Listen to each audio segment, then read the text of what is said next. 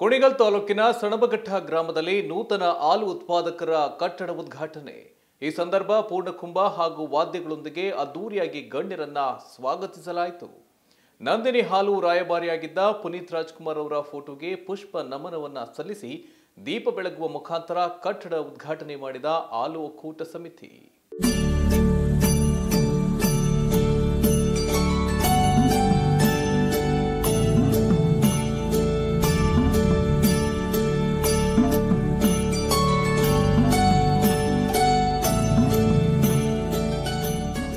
ಕುಣಿಗಲ್ ತಾಲೂಕಿನ ಸಣಬಘಟ್ಟ ಗ್ರಾಮದಲ್ಲಿ ನೂತನ ಹಾಲು ಉತ್ಪಾದಕರ ಕಟ್ಟಡ ಉದ್ಘಾಟನೆ ಕಾರ್ಯಕ್ರಮ ಹಮ್ಮಿಕೊಳ್ಳಲಾಗಿತ್ತು.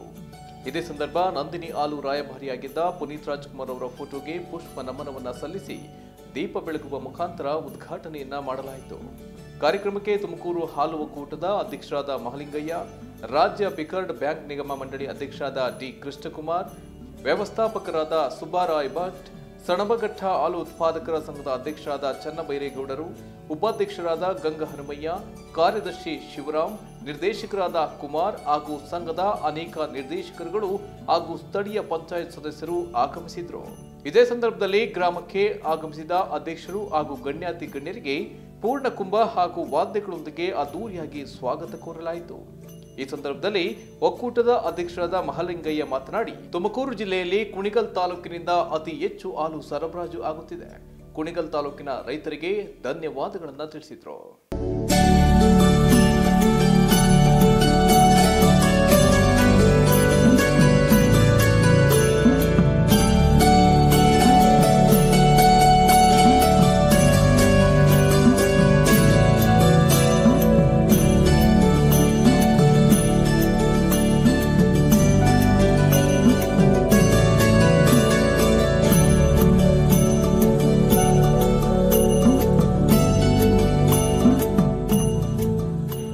ಕಟ್ಟಡ ಉದ್ಘಾಟನಾ ಕಾರ್ಯಕ್ರಮವನ್ನು ಹಮ್ಮಿಕೊಳ್ಳಲಾಗಿತ್ತು.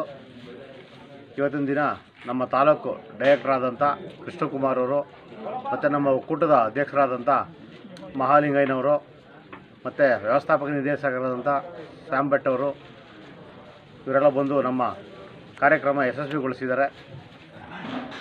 ಈ ಕಟ್ಟಡ ನಿರ್ಮಾಣ ಮಾಡಬೇಕಾದ್ರೆ ಸುಮಾರು ಒಂದು ಇಪ್ಪತ್ತು ಲಕ್ಷ ರೂಪಾಯಿ ವೆಚ್ಚ ತಗಲಿದೆ ಅದಕ್ಕೆ ಒಕ್ಕೂಟದಿಂದ ನಾಲ್ಕೂವರೆ ಲಕ್ಷ ರೂಪಾಯಿ ಅನುದಾನ ಕೊಟ್ಟಿದ್ದಾರೆ.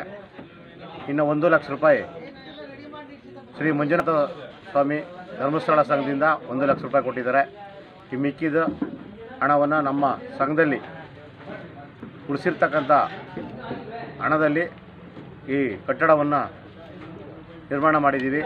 ಇದೇ ಸಂದರ್ಭದಲ್ಲಿ ಟಿವಿ ಟ್ವೆಲ್ ಕನ್ನಡ ವಾಹಿನಿ ಜೊತೆ ಮಾತನಾಡಿದ ಸಂಘದ ಅಧ್ಯಕ್ಷರಾದ ಚನ್ನಬೈರೇಗೌಡರು, ನಮ್ಮ ಗ್ರಾಮಕ್ಕೆ ಗಣ್ಯಾತಿ ಗಣ್ಯರೆಲ್ಲ ಬಂದು ಕಾರ್ಯಕ್ರಮ ಯಶಸ್ವಿಗೊಳಿಸಿದ್ದಾರೆ.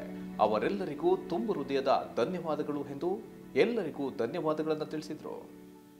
R Thimmaraju, TV twelve Kannada, Kunigal. TV twelve Kannada, ಇದು ಕನ್ನಡಿಗರ ಧ್ವನಿ.